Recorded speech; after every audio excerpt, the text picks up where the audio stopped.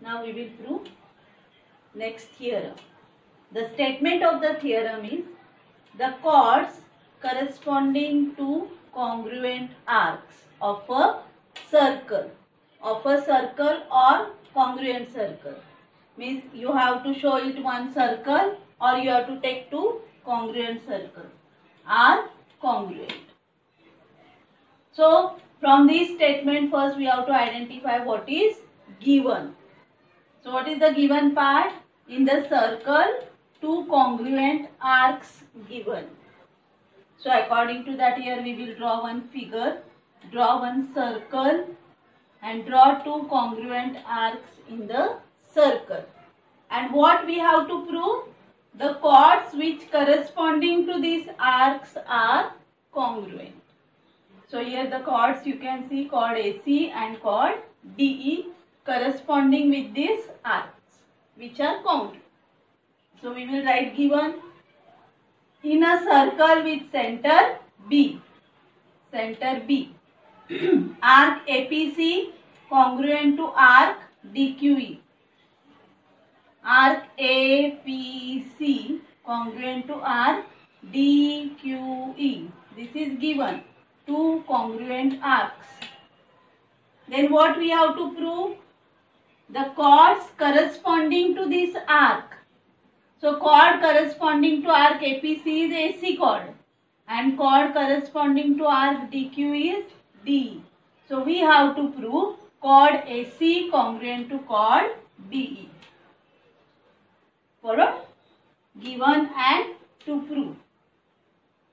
Now to prove this, we have to complete this activity.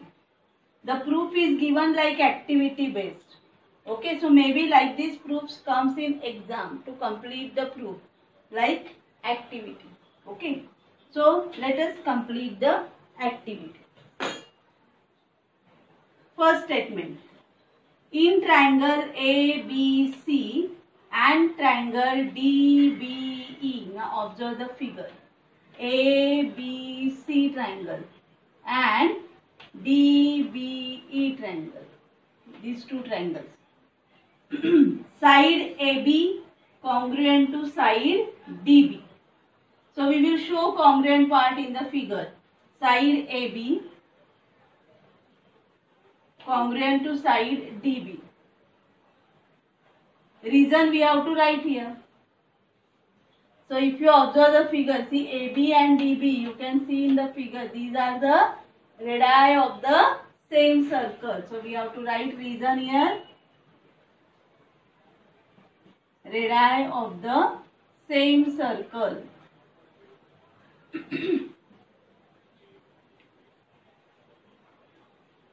okay. Now next statement we have to fill this side dash congruent to side dash. So like AB and DB, we have the another sides BC and BE.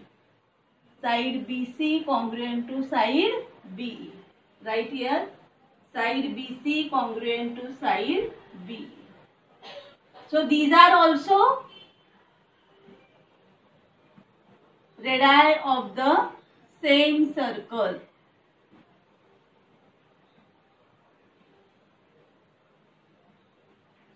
Okay. So we got two pairs of corresponding sides congruent. Next, angle ABC congruent to angle DBE. Now observe the figure. Angle ABC means this angle. Congruent to angle DBE means this angle. So what reason they gave? Measures of congruent arcs. So before this we studied the definition of congruent arcs. If the arcs uh, have equal measure and equal radii, then the arcs are called as congruent arcs. Okay. Now here in this uh, figure, already they mentioned the arcs congruent. That means the measure of these central angles are also congruent. That's why we got angle ABC congruent to angle DEB. Measure of congruent arcs. Therefore, triangle ABC congruent to triangle DBE. Now, with the identical marks, you can see that. By which test these two triangles are congruent? By S, A, S test. So, write here by S, A, S test. And therefore, chord AC congruent to chord DE chord AC congruent to chord D. What reason we will write here? Correct. Corresponding sides of congruent triangle CSCT. So this way we proved if in a circle or in congruent circle the arcs are congruent then the chords related to that arcs are also congruent. The chords corresponding to congruent arcs are congruent. Follow this theorem. You can try to prove this into congruent circles.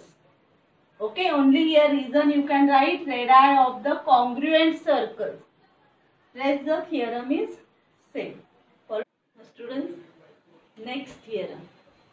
The statement of the theorem is corresponding arcs of congruent chords of a circle or congruent circle are congruent.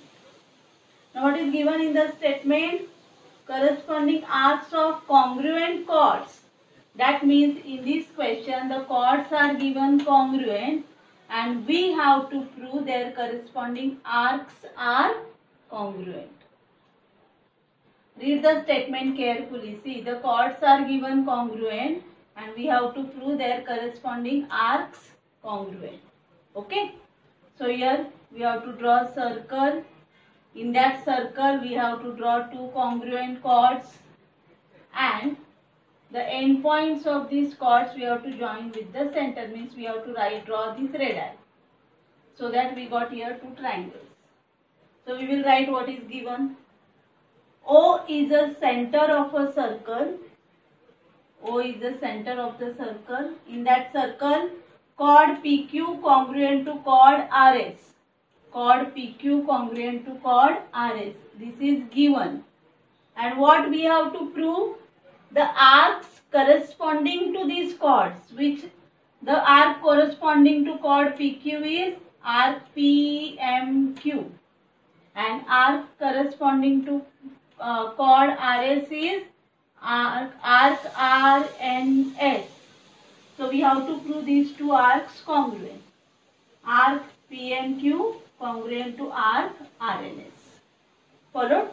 Now here in the textbook the proof is not given but they gave the hint that we know the definition of congruent arcs. If the arcs have equal measure and equal radii then the arcs are called as congruent. So to prove these arcs congruent, we have to prove the measure of these arcs are equal. And to get this equal measure, we have to prove these two triangles congruent. Triangle POQ, POQ and triangle ROS. So in these two triangles, first pair of corresponding sides we have side OP congruent to side OR. OP congruent to OR. These are the radii of the same circle. Same way the second pair is side OQ congruent to side OS. These are also radii of the same circle. And third pair of corresponding side is side PQ congruent to side RS which is given. The chords are given congruent. So reason is given. Therefore, triangle POQ congruent to triangle ROS by SSS test. With this identical mark also you can come to know that these two triangles are congruent by SSS test. So if two triangles congruent, their corresponding angles are also congruent. So we got angle POQ congruent to angle ROS. Angle POQ congruent to angle ROS. Corresponding angles of congruent triangle CACT. Give your statement number 1. Now we know that how to find out the measure of minor arc. Measure of minor arc is equal to the measure of corresponding central angle. So according to that, measure of arc PMQ is equal to measure of angle POQ. Measure of arc PMQ is equal to measure of angle POQ. Measure of minor arc is equal to measure of corresponding central angle. Second minor arc, measure of arc RNS is equal to measure of angle ROS. See But in first statement we proved that this angle POQ congruent to angle ROS. That means if the measure of these two angles is equal, then the measure of arcs are also equal. Measure of arc PMQ equal to measure of arc RNS from 1, 2 and 3. That means here we got the measure of these two arcs equal. And these two arcs have equal radii because they are from the same circle. So the arcs have equal measure and equal radii. That's why these two arcs are congruent. Arc PMQ congruent to arc RNS. Understood? So this way we proved if two chords are congruent in a circle or incongruent circle, then arcs corresponding to these chords are also congruent. Follow these two theorems